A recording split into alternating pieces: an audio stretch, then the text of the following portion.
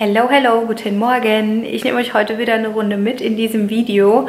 Und zwar hatte ich euch in einem meiner letzten Vlogs erzählt, dass wir so ein bisschen unsicher sind, wohin es für uns in den Urlaub geht. Und jetzt haben wir uns entschieden. Und ich habe gedacht, es ist vielleicht ganz interessant für euch mal zu sehen, wie das so ist, in der Großfamilie in den Urlaub zu fahren, alles vorzubereiten. Aber ihr könnt es euch mit Sicherheit denken, dass da einiges ansteht. Noch dazu kommt, dass ich heute spontan entschieden habe, noch eine Windeltorte zu basteln basteln, alles vorzubereiten. Da steht auch schon der große Karton. Und zwar ist es so, dass ich denke, dass die Beschenkte ihre Babys dann schon hat, bis wir vom Urlaub zurückkommen. Sie bekommt Zwillinge und das möchte ich heute auf jeden Fall noch fertig machen und verschicken, damit es eben rechtzeitig ankommt.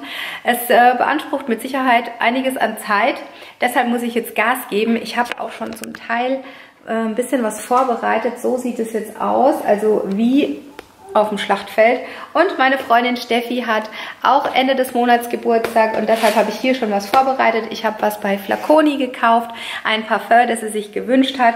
Das möchte ich jetzt auch noch schön verpacken, eine schöne Karte schreiben und es eben auch noch alles zur Post bringen, damit ich das in einem quasi mache. Und ja, wie gesagt, dazu nehme ich euch heute mit in diesem Video. Da habe ich auch schon einiges vorbereitet. Ähm, ganz wichtige Sachen, die ich nicht vergessen darf. Und mein Glätteisen. Da ist auch noch ein Paket angekommen. Ja, also ihr merkt schon, es steht wieder einiges an. Aber auch das schaffe ich. Mal schauen wie, bis heute Abend. Und ähm, ich wünsche euch ganz viel Spaß beim Video und los geht's. Ich bin ja mal gespannt, was das kosten wird bei der Post, so ein Riesenpaket zu verschicken. Ich werde euch auf jeden Fall Bescheid sagen, was ich dafür bezahlt habe. Ich war heute Morgen übrigens auch noch beim Rathaus und habe unsere Unterschriften beglaubigen lassen. Ich habe ein Schreiben aufgesetzt, dass der Moritz alleine fliegen darf, also dass er unsere Erlaubnis hat. Und dazu habe ich eben einen Stempel gebraucht vom Rathaus. Und ja, ich bin mal gespannt, ob das alles glatt läuft. Also der Moritz ist ja schon 16, er fliegt mit der Lufthansa.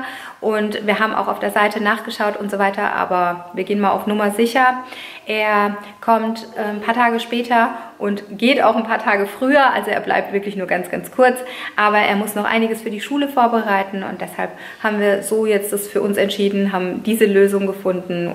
So, ich mache jetzt erstmal der Steffi ihr Paketchen zurecht und zwar hat sie sich dieses Parfum hier gewünscht, das habe ich bei Flaconi gekauft, da waren noch zwei Pröbchen mit dabei und diesen Nagellack hier habe ich ihr noch gekauft. Der sieht so aus. Ich weiß jetzt nicht, ob es scharf wird. Jawohl. Also das packe ich jetzt alles schön zusammen. Ich hebe ja immer so Verpackungsmaterial auf. Und zwar habe ich hier auch noch sehr, sehr schönes Material mit so Konfetti, damit man dann eben Freude dran hat, das auszupacken.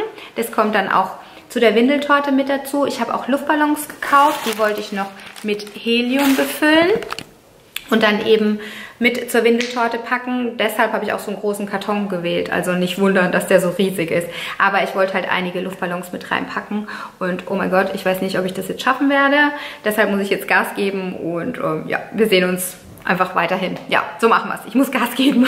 Kurze Pause, ich habe dem Liam jetzt sein Essen warm gemacht und zwar hatte ich Pastinake, Kohlrabi und Kürbis gekocht. Also das habe ich halt ähm, ja, so eingefroren als ich es gekocht habe. Jetzt habe ich es warm gemacht und jetzt bin ich mal gespannt, ob ihm das schmeckt. Jetzt machen wir erstmal das Lätzchen dran. Mein Mann hat übrigens gemeint, das sieht aus wie ein Pyjama. Willst du die Kamera haben, ha? Schauen wir mal, ob dir das schmeckt. Mangiamo. Mangiamo. Um.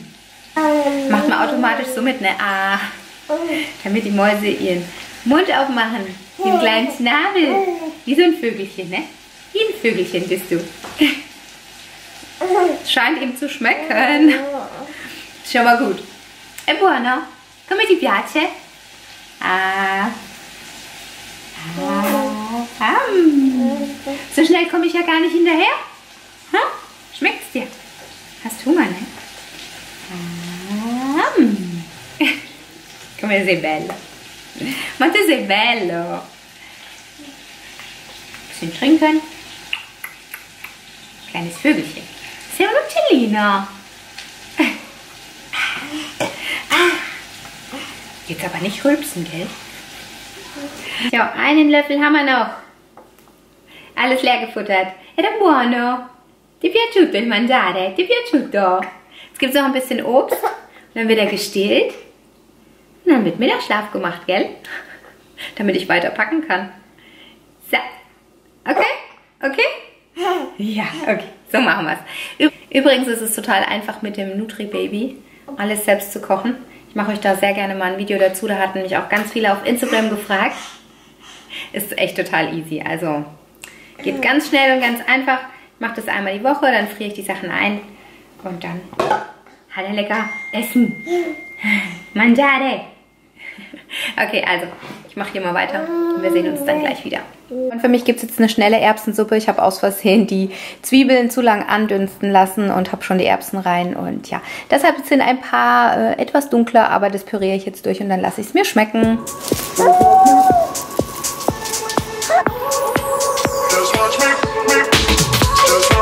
I won't make it easy for you now. You got two minutes of my time. And I don't really break too easily. But I'm worth it. Cause I'll slip into your dreams tonight. Oh, so give me, so give me your all. I'll take it, I'll take it to Mars. Oh, I'll stick like glue inside your mind. Oh. Weiß jetzt gar nicht, ob ich es dazu gesagt habe, aber die Windeltorte, die mache ich für Zwillinge und die haben schon einen großen Bruder. Und ich weiß, dass er sehr gern badet und deshalb habe ich auch eine Kleinigkeit für ihn vorbereitet. Also irgendwie ist es jetzt doch sehr kompliziert. Ich habe mir das super einfach vorgestellt, aber ich muss tatsächlich jede einzelne Windel mit Tesafilm befestigen, weil die sonst so aufgehen. Und dann muss ich das hier auch nochmal mit einem Band befestigen, weil das irgendwie total unstabil ist. Ich habe jetzt hier in der Mitte ähm, sowas reingemacht, deswegen habe ich das noch hier für die obere Etage. Eigentlich wollte ich wirklich eine richtig, richtig große Windeltorte, aber es gelingt mir nicht. Ich habe jetzt nochmal Windeln geholt. Hier sind übrigens die ganzen Produkte, die ich dann an der Windeltorte noch befestigen wollte. Also ich habe noch mehr gekauft und hier sind noch verschiedene Bänder. Ich habe noch ein ganz, ganz schönes altrosanes Band. Das wollte ich auch dran machen. Also es wird ja ein Junge und ein Mädchen und ja, irgendwie hm, habe ich es mir einfacher vorgestellt. Aber ich mache jetzt mal weiter. Hoffentlich wird es was. So, okay, jetzt geht's ans Dekorieren. Also das Teil hat mich jetzt die Nerven meines Lebens gekostet, ich sag's euch. Jetzt mache ich ähm, die ganzen Sachen hier noch dran. Ich habe jetzt hier ähm, noch ein Band dran gemacht, die zwei Schnuller. Werde ich jetzt mal schauen, wie ich das Ganze hier befestige. Und hier habe ich auch noch was vorbereitet. Da kommt die Torte dann drauf.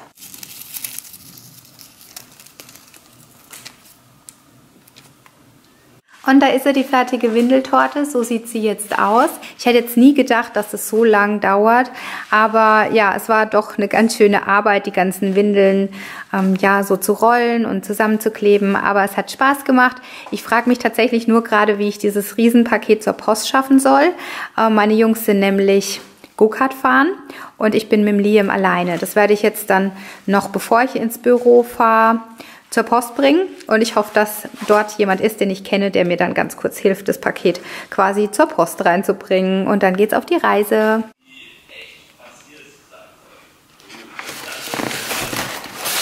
So, meine Lieben, ich bin wieder zu Hause. Es ist allerdings schon kurz vor acht, also ultra spät. Ich war noch sehr, sehr lange im Büro. Ich war aber auch bei der Post. Der Max hat mir Gott sei Dank geholfen. Der ist mitgekommen wegen dem riesigen Paket. Das waren 5,5 Kilo, also ich habe knapp 10 Euro bezahlt, ging voll klar. Ich habe nur Angst, dass die den so durch die Gegend schmeißen und dass die Windeltorte dann kaputt geht. Ich habe zwar ganz viele Luftballons rein, aber vielleicht wäre ein bisschen Schaumstoff oder so noch gut gewesen. Aber das hatte ich jetzt nicht und ja, ich hoffe, dass das jetzt heil ankommt. Ansonsten hat sich auch noch eine Abonnentin gemeldet, die gewonnen hat bei dem Green Force Gewinnspiel. Jetzt muss ich das morgen noch zur Post bringen oder würde es gerne zur Post bringen, weil wir ja dann ein paar Tage nicht da sind und es wäre ja schade, wenn die Abonnentin dann wartet. Da musste ich aber auch erstmal recherchieren, wer das jetzt ist, weil sie sich nicht gemeldet hat. Also falls ihr mal bei einer Verlosung mitmacht, dann seid doch bitte so lieb und schaut auch immer wieder mal nach, ob ihr gewonnen habt, weil ja, das war jetzt für mich wieder Arbeit zu schauen, wer diejenige ist, ob ich sie auf Instagram finde und so weiter. Das ist alles überhaupt kein Problem, mache ich auch echt gerne. Aber es hat jetzt auch nochmal Zeit in Anspruch genommen. Und ich muss jetzt wirklich Gas geben, ich muss meine Wäsche machen. Also das habe ich mir jetzt so nicht vorgestellt, auch nicht für euch. Ich wollte euch ja eigentlich zeigen, was ich alles hier vorbereite für die ganzen Jungs, wenn es in den Urlaub geht. Ich mache das übrigens alles alleine für die Jungs, also mit den Kindern schon auch zusammen. Die suchen das dann aus, wir legen es zurecht und dann packe ich es ein und für meinen Mann packe ich tatsächlich. Das macht mir aber überhaupt nichts aus. Also das ist bei uns schon seit ja, über 20 Jahren so. Alles gut und hier sieht es wirklich aus, als hätte eine Bombe eingeschlagen. Ich muss jetzt wirklich Gas geben. Also hier sind zum Beispiel die Medikamente, die ich schon zurechtgelegt habe. Das hier noch für den Liam, das wollte ich noch mitnehmen. Und ansonsten habe ich unten schon seinen neuen ähm, Schwimmring hingelegt. Ich packe das dann immer alles runter an den Eingang. Habe ich noch ein Boot bestellt bei Amazon. Das wollte ich auch noch mitnehmen. Und wie gesagt, ich habe alles schon mal unten hindrapiert. Jetzt gehe ich mal eine Runde bügeln und dann hole ich euch nochmal dazu. Wie gesagt, ich wollte euch ja eigentlich zeigen, wie es ist, ne? wenn man mit so vielen Kindern in den Urlaub fährt. Also hier ist jetzt mal der erste gebügelte Teil. Das ist natürlich noch gar nichts. Da kommt noch eine ganze Menge dazu. Das ist von den Jungs. Die Sachen von meinem Mann und von mir fehlen noch. Wobei ich sagen muss, dass wir nie viel mitnehmen. Aber ähm, ja, es fehlen halt noch die Hygieneartikel, ganz klar. Sonnencreme und so weiter. Und Badesachen, die habe ich schon unten fürs Meer. Hier habe ich mal das Teil hingelegt. Das darf ich nicht vergessen. Das ist natürlich immer unter Aufsicht zu verwenden. Ganz klar, das habe ich im Liam jetzt neu gekauft. Hier sind die Medikamente. Dann habe ich mir schon zwei Masken zurechtgelegt. Ich bin ja so ein kleines Maskenopfer. Hier ist die Schminke, die ich mitnehmen werde. Also ganz wenig. Und an Pinsel werde ich nur dieses Set hier mitnehmen. Das ist so genial. Das kostet auch nur 13 Euro. Kann ich euch mal verlinken. Ich habe da einen Rabattcode. Bevor ich 10.000 Pinsel mitschleppe, werde ich diesmal dieses Teilchen hier mitnehmen. Ich bin ganz, ganz glücklich. Ich bin schon gespannt. Also ich finde es genial. Hier ist halt diese Aufbewahrungsmöglichkeit. Dann habe ich jetzt hier die Sachen für den Liam zurechtgelegt. Das sieht jetzt so aus. Da werde ich das so direkt mitnehmen. Die zwei T-Shirts habe ich noch neu gekauft. So sehen die aus. Habe ich jetzt nicht geschafft zu waschen, werde ich dann bei meiner Mama machen. Und ansonsten, ja, habe ich jetzt hier noch was vorbereitet für meine Cousine. Die freut sich, wenn sie ein bisschen Schminke bekommt. Das sortiere ich immer aus, beziehungsweise ich schaue halt von den Farben, ob es passt. Und ja, das hebe ich halt so das ganze Jahr über auf. Und da freut sie sich. Jawohl, und ich mache jetzt mal weiter. Jetzt kommt Max. Ähm. Also der Max hilft mir gar nicht, ne? Habt ihr gesehen. Ich habe jetzt mal hier alles runtergeschleppt. Das kann soweit ins Auto. Im Auto sind schon zwei Strandtaschen. Hier ist jetzt auch noch eine. Da habe ich jetzt noch Sonnencreme und noch ein paar Badetücher, die ähm, Badehosen mit rein. Ein Frisbee darf nicht fehlen. Hier ist noch die Strandmuschel. Dann ist der Staubsaugerroboter hier für meine Mama. Hier sind die Klamotten der Jungs drinne, wobei da noch ein Teil fehlt. Das kommt oben in den ganz, ganz großen schwarzen Koffer. Den muss ich noch runterschleppen. Dann werden wir noch den Bollerwagen mitnehmen. Mal schauen, ob wir den brauchen werden. Hier habe ich noch die Trage. Mal gucken, ob er da rein mag. Und Schwimmwindeln dürfen nicht fehlen. Hier in dem Koffer habe ich noch ganz, ganz viele Klamotten für meine Cousine. Da habe ich das Jahr über halt immer wieder mal alles aufgehoben, was ihr gefallen könnte. Und das habe ich jetzt hier rein. Hier ist noch das Boot, von dem ich vorhin erzählt habe. Das habe ich bei Amazon gekauft. Windeln. Hier ist noch die Tasche drin für meine Mama. Hatte ich euch ja auch in meinem Blog gezeigt. Die wird sie jetzt bekommen. Wartet, ich zeige sie euch nochmal, falls ihr sie nicht gesehen habt. So ist es richtig. Genau, da wird sie sich mit Sicherheit auch freuen. Und ansonsten habe ich unten noch ähm, Schirme und die Strandtücher. Genau, habe ich glaube ich schon gesagt. Und ich würde sagen, jetzt mache ich mal oben weiter. Die Wäsche muss ich jetzt auch noch machen und meine Küche aufräumen. Hier sieht es aus, als hätte eine Bombe eingeschlagen. Das ist der absolute Wahnsinn. Also die Windeltorte hat mich tatsächlich sehr viel Zeit gekostet. Ähm, das habe ich so nicht eingeplant. Und deshalb hinke ich so ein bisschen hinterher, aber das wird eine Nachtschicht. Überhaupt kein Problem. Aber ich mache mich grundsätzlich nicht so verrückt. Also ich versuche natürlich an alles zu denken, ganz klar. Aber falls ich was vergessen sollte, ja, dann kann man das mit Sicherheit auch vor Ort kaufen. Also jetzt meinetwegen Sonnencreme zum Beispiel, die ich niemals vergessen würde, aber das kann man ja alles dann vor Ort kaufen und deshalb wollte ich euch sagen, macht euch nicht verrückt, also ich arbeite das auch nicht mit einer Liste ab, was wir alles mitnehmen, ich gehe das alles im Kopf durch, ich weiß, was die Jungs brauchen und falls ich was vergessen sollte, wie gesagt, kann man das noch vor Ort kaufen. Wichtig ist natürlich, dass wir die Ausweise dabei haben und Geld. Ja, und alles andere, also ich möchte natürlich auch nichts vergessen, ganz klar. Und das ist eigentlich noch nie vorgekommen. Aber ich mache mich da auch nicht verrückt. Also ja, selbst jetzt, wenn jetzt jemand eine Nagelschere bräuchte, die ich jetzt nicht mitnehmen werde, ähm, dann wird halt eine gekauft, wenn er sich einen Fußnagel oder einen Fingernagel eingerissen hat, ja. Also macht euch da nicht verrückt, genießt lieber die Zeit, die ihr dann im Urlaub seid. Bei uns ist es ja leider nicht so lange. Wir werden übrigens nach Italien fahren. Ich weiß jetzt gar nicht, ob ich es dazu gesagt habe. Wir besuchen meine Mama und nehmen sie mit ans Meer. Sie wollte nicht ans Meer. Sie hat gesagt, oh mein Gott, was sollen denn die Leute sagen? Ne? Aber ganz ehrlich, ich habe zur Mama gesagt, es ist ganz egal, was die Leute sagen. Die wissen nicht, was du in den letzten Monaten durchgemacht hast. Ich bringe dich ans Meer. Wir genießen die Zeit und schauen aufs Meer atmen die gute Luft ein und bringen auch den Liam jetzt mal ans Meer. Da freue ich mich auch schon total und haben einfach eine schöne Familienzeit. Und das ist das, was zählt und ganz egal, was die Leute reden. Zu reden haben sie ja sowieso immer, egal was man macht. Okay, meine Lieben, also dann verabschiede ich mich jetzt von euch. Ich versuche jetzt an alles zu denken, alles einzupacken für diese Großfamilie. Ich hoffe, dass euch dieser Vlog gefallen hat, auch wenn er ein bisschen anders ausgefallen ist als von mir geplant.